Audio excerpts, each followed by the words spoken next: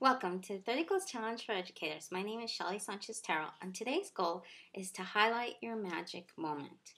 Each of us has one of those moments that has made us really excited to be a teacher, where we have made a difference in a child's life.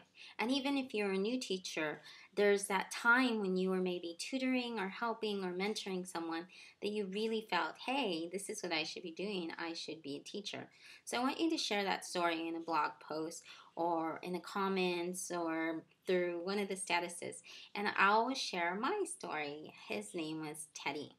And this was when I was a new teacher and I was teaching museum education.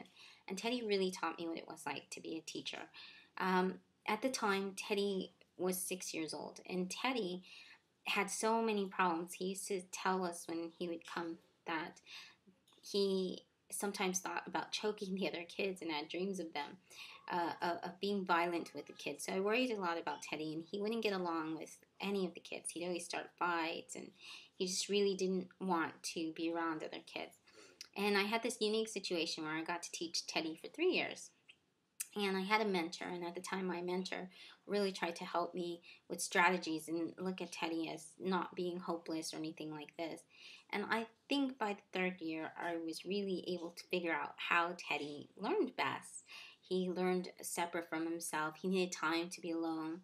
I decided to have learning stations, and when Teddy felt a little antsy and didn't want to follow along, he he would go to one of the stations and he was so great at figuring out logic puzzles and creating these incredible kind of structures with Legos and so this gave Teddy an outlet and there were other things and then when he went back with the kids he was really able to focus and listen and and, and be nice. So I was really excited, but I was worried when Teddy left. I wasn't sure, you know, what would happen with Teddy many, many years later, I would say about over 10 years or maybe 10 years, I started teaching in a high school.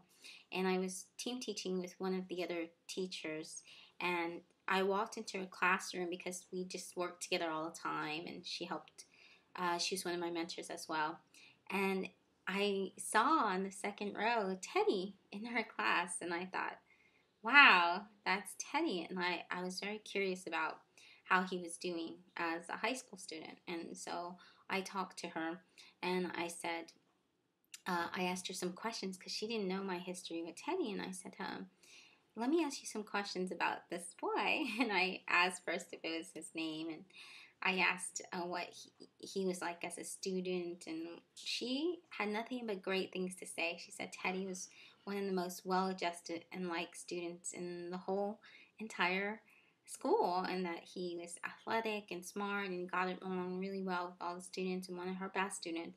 And I was so happy to hear this and I shared with her my story, but it was just so incredible.